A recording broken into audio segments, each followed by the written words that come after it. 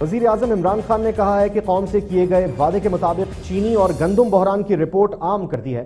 ابتدائی رپورٹ میں کوئی تبدیلی نہیں کی گئی، کمیشن کی رپورٹ آنے کے بعد کاروائی ہوگی۔